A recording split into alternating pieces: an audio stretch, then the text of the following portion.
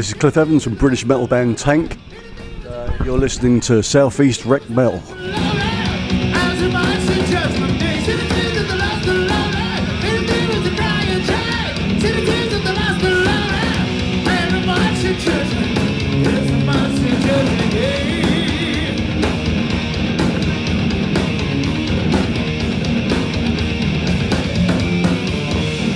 Welcome to our show and welcome to Finland. Thanks, great to be here. It's been a long time since we've been in Finland, so it's uh, it's a real pleasure to come here and play some shows for the fans. Um, as you know, we were supposed to be here in 1984. We on the Metallica Ride the Lightning tour, but um, unfortunately the weather was pretty bad then, and our van that we were travelling in just wasn't really up to the job, so um, we couldn't make it on that tour. So you know, that was 1984. So we've just managed to come back now. Well, it's cool to have you here. You are about to release a new album, some re-recorded classic tank stuff. How did you end up to do new versions about old classic material? Well, it's something we've been thinking about for quite some time now. Um, a lot of the um, these old songs are still in our set, these classic songs, um, and they sound a lot different now to, to when we originally recorded. Originally recorded. So um, we thought let's let's kind of um, let's update them a bit. New production, you know, much more up to date up to date production with the new lineup. Um, I mean, the original recordings are still there. They sound fantastic, just a bit dated now. So we thought, let's go and yeah, give them the full metal makeover um, and pick pick. Um, there's 11 songs from the first four albums. Um, you know, some of our favourites. There's a lot of songs to choose from there, and we just we went in and just recorded the stuff and, and you know, the way we play them now and it's sounding really good. It's quite a low budget album. We did it pretty quickly, and uh, the result is really good. So, so we're, we're quite happy with that. It was good fun doing it as well. How hard job was it to pick up those songs? Well, we all kind of picked some of our favourite songs. I mean, I mean, there was um, you know, a lot of them we hate. We, we all, we all knew we kind of knew which ones we were going to do. And then a few odd ones there. We had to just like just pick it, and, and that's it. But we thought if this album does okay, we'll do another one with some more songs on there. Um, so it's just like a side project. It's, uh, it's not like a regular yeah, new studio album. It's just something for a bit of fun um, uh, and, and, just a bit of promotion as well. So you know, if this one you know, does okay, we, will we'll do another one. Um, but yeah, alongside we'll, we'll have a, another proper studio album out um, as well, um, which we would go and start recording soon. So that's all original material, all new songs. Uh, so the, these, this this album Reignition is it's just a bit of fun there redoing the old stuff, and we'll yeah, possibly do a reignition volume two next year. You have also special guests on the album. Can you tell us who, who they are? Well, it was um, our, our, record company, um, Cleopatra Records in, in Los Angeles. Um, that they said, uh, how about you know get get some guest people and people who were influenced by Tank, um, you know, back in the day there. So we thought that's a good idea to make it a bit more interesting and a bit more fun for the fans as well.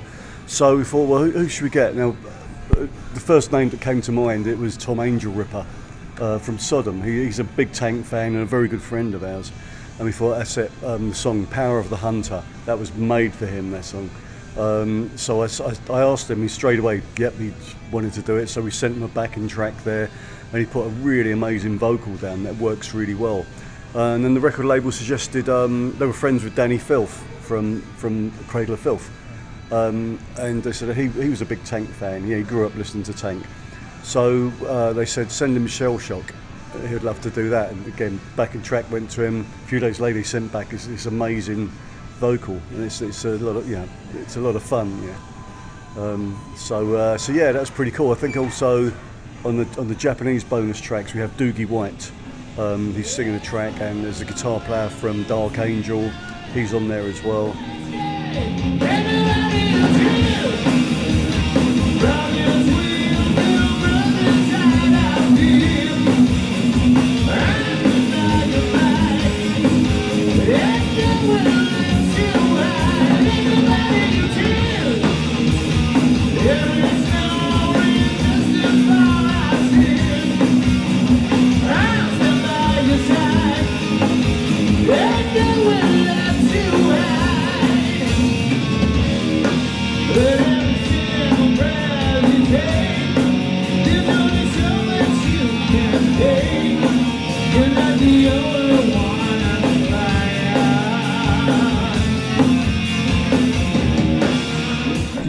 Also some lineup changes before doing this new album.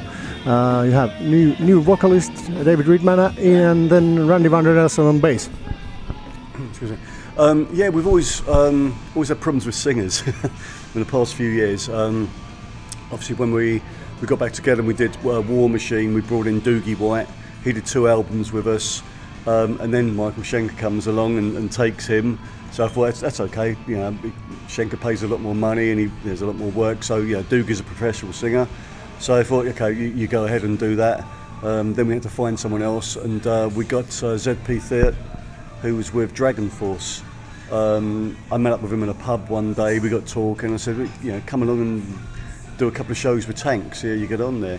And he came in, and he was really good. His voice was, was fantastic, and we wrote the album um, Valley of Tears with him. Um, did quite a lot of touring, and then um, Skid Row comes along to steal him. But again, he, he, was we were okay with that. I mean, he's a massive Skid Row fan. That's his favourite band. So it's like a dream come true for him him to to um, go and play with them. So, so he, he went off with them. He's doing really well now. And then we thought, okay, who do we get in next? I mean, we always want to keep the standard really high, get the best we can probably possibly get. Um, someone suggested uh, David Readman, um, uh, and I, I, wasn't familiar with, with his voice, um, on, or, or Pink Cream 69, who he was with at the time. So we, um, he lives quite near to Mick uh, in Holland. Um, so he said, come down, let's have a, have a jam, see how you get on with it. Um, I thought it probably won't work because it's a bit more AOR, sort of lighter stuff than that. But when he came in, within seconds, it's like, whoa, this guy can really sing this old, you know, this old tank stuff. Really powerful voice, worked perfectly. So um, it's been great. I mean, the band sounds really, really good now. Uh, so, you know, David's a fantastic vocalist, great frontman. Um, and Randy Van Der Elsen, um, he was suggested by um, our, our, last bass player, Barend Courbois. Uh, so he went in to join um, Blind Guardian. So we thought, okay, we've got to get someone else in. And Barend said, there's a guy that he, has been teaching, uh, Randy Van Der Elsen. So he, a young guy, he came down, fantastic bass player, and also a brilliant vocalist as well. So it really adds like another dimension to, to, to the band. So, uh, so yeah, it's, it's a good lineup right now like you said, you have a standard with, with singers and you try to keep it high. But also, uh, when I was looking at Randy, uh, well, he reminds me about uh, young Chris Dale. Uh, we look alike, but not so, uh, you know, uh, yeah, not, not so crazy on stage. Oh, that's it. Yeah, yeah. Cause, I mean, Chris, Chris is a great bass player, great guy to have around. So yeah, we're still re really good friends and that.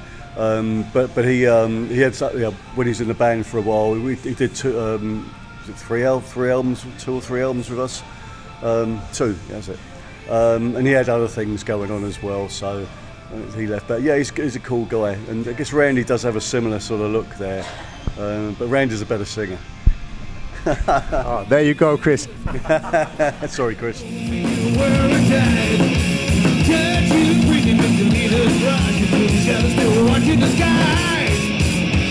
I'll beat up your baddest dreams. I'm not as bad as it seems. Well, it's now I'm left with these mouths to. I wanna see those rivers bleed. Do you know just what this means?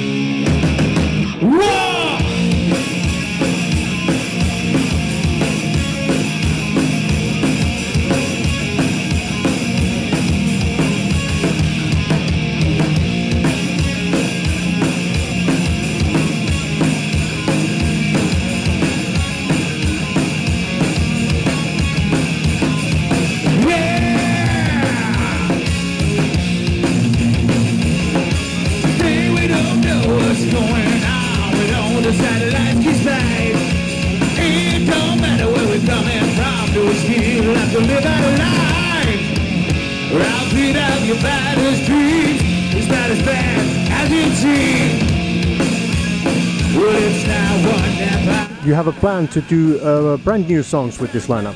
Yeah, yeah so we'll start. Um, we're writing at the moment, so as soon as we finish these dates um, and before we go to Japan, we'll, we'll start um, demoing the, the, songs up. So we'll get them together and we'll record them later this year um, and probably look at a, a, new album release early next year that of all original stuff. Yeah.